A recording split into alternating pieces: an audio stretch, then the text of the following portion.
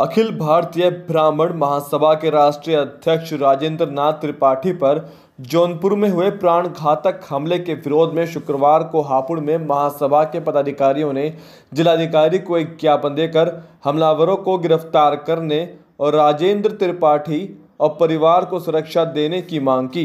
महासभा के प्रदेश प्रभारी पंडित सरवन कुमार शर्मा, प्रदेश महामंत्री पंडित प्रदीप शर्मा, पश्चिमी उत्तर प्रदेश के अध्यक्ष पंडित विजेंद्र शर्मा सहित सैकड़ों कार्यकर्ता कलेक्ट्रेट पहुँचे और राष्ट्रीय अध्यक्ष पर हुए प्राण घातक हमले पर रोष व्यक्त किया। उन्होंने ज्ञापन में मांग की है कि हमलावरों को गिरफ़्तार कर कठोर दंड दिया जाए और राष्ट्रीय अध्यक्ष की सुरक्षा व्यवस्था को बढ़ाया जाए।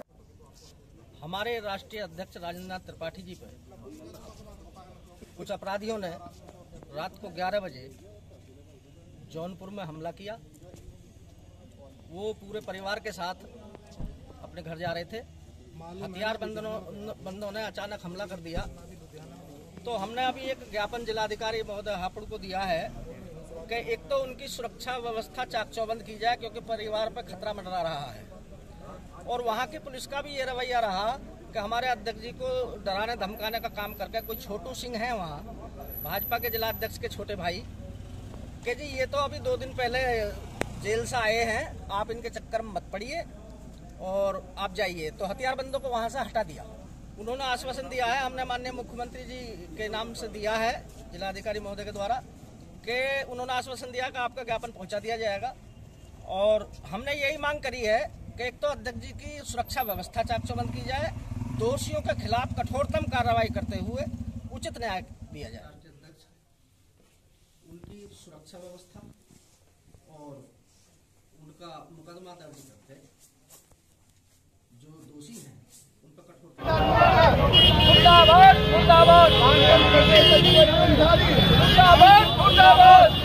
हथियारों को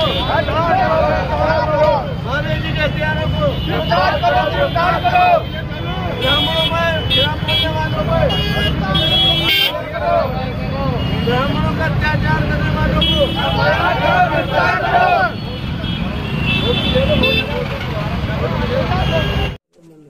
परिवार के साथ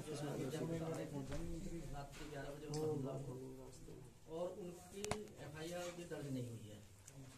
तो एक तो उनकी सुरक्षा मुहैया कराने के संबंध में चार सौ बंद हो, परिवार को खतरा है, क्योंकि सामाजिक मुद्दों को उठाते रहते हैं।